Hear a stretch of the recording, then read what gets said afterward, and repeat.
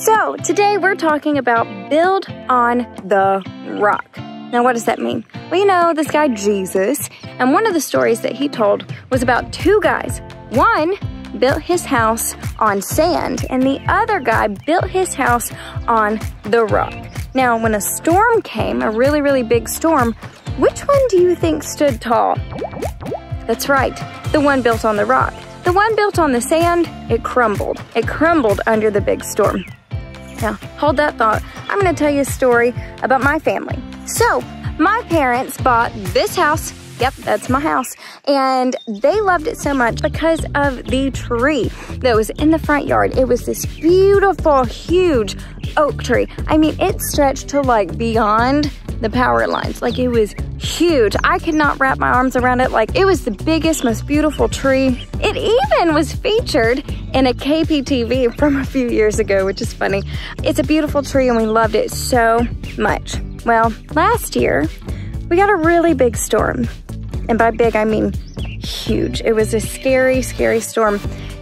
At 5 a.m., I heard something and it was like a boom it scared me so bad. And so I ran to my door and I looked out the window in the dark. And you know what it was? It was our tree. This huge oak tree that stood so tall had fallen to the ground. You know why it fell? The thing that it was built on, the thing holding it up, its roots, they weren't good. They were rotten. They were weak. They were soft. When a storm came and the ground got wet, those roots didn't hold.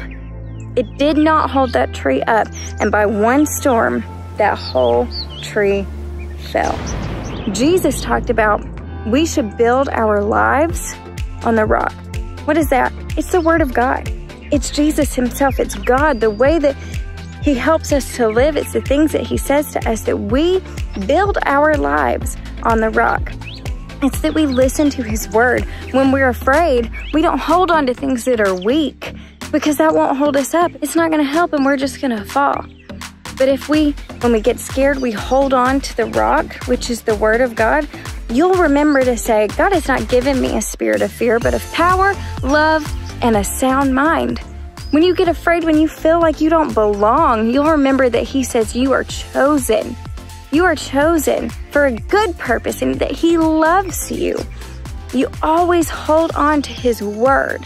Because when you hold on to anything else, it's going to be like that tree. It doesn't matter how cool you are, it doesn't matter how big you are, how strong you think you are. If you're not holding on to God, if God's not your foundation, you're going to end up like our sad little big oak tree. But if you hold on to God's word, if you build your life on the rock, guess what? You will stand so tall.